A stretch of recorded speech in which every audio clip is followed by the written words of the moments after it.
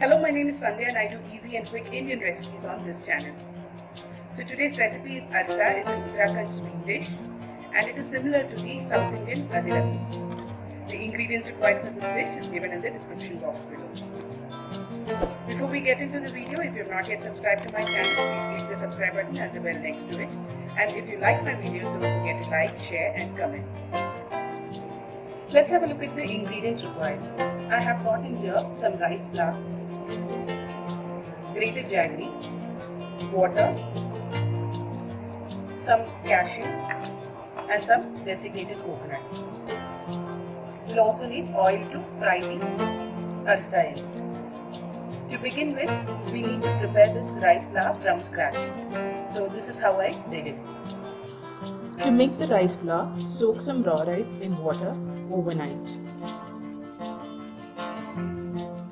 On the next day morning, drain all the water from the rice and spread it out on a towel to dry.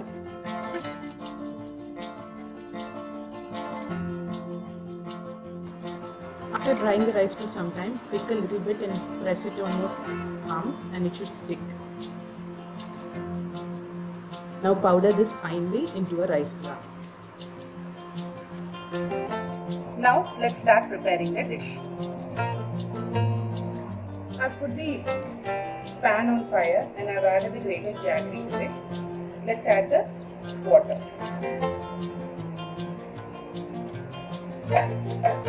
Now we'll mix this together and make a syrup out of it.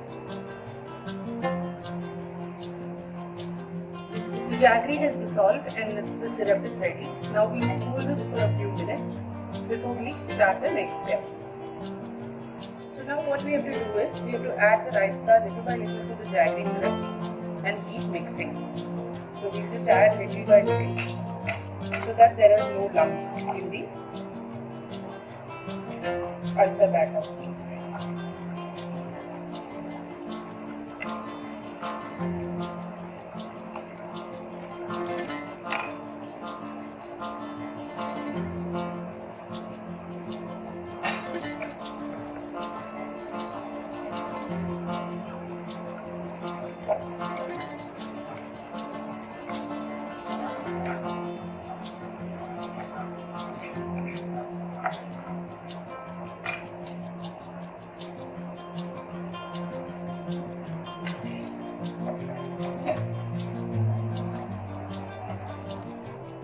Once you mix all of the rice flour into the jaggery, it will become a dough like this.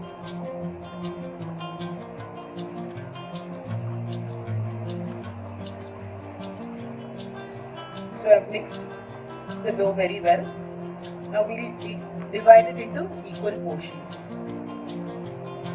Take a portion of the dough, roll it into a ball and then flatten it into a disc like this and keep it aside.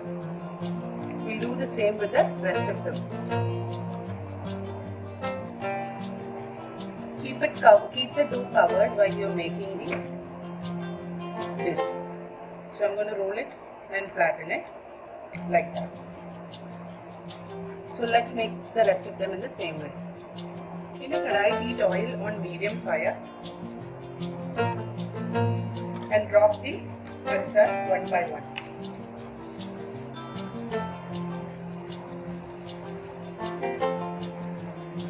Depending on the size of the pan, decide on how many you want to add at a time. Now we cook this until it's cooked through and is dark brown in color. You can see they're cooked through and they're golden brown in color golden to a dark brown in color. So now we'll remove it from the fire and garnish it. So that's arsa ready for you.